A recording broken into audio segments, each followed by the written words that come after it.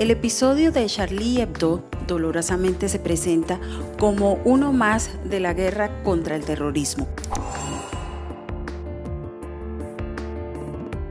Desde luego, la libertad de expresión debe estar fundamentada en algunos hechos. Yo creo que lo que hay que rechazar es que en París han masacrado a unas personas por un chiste.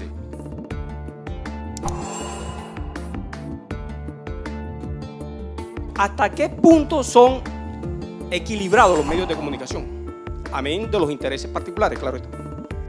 En Francia, si nos ponemos a analizar, hay una incoherencia de discurso, la famosa República de la Libertad, pero ¿qué clase de libertad hay si ni siquiera una persona puede profesar libremente la religión?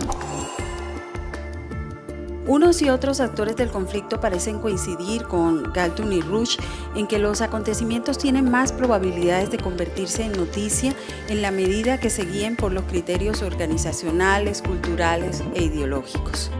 Que los individuos estemos en desacuerdo permanentemente y sobre cualquier cosa no va más allá de ser un fenómeno cotidiano inseparable de la condición humana, pero no siempre se trata de un fenómeno inofensivo.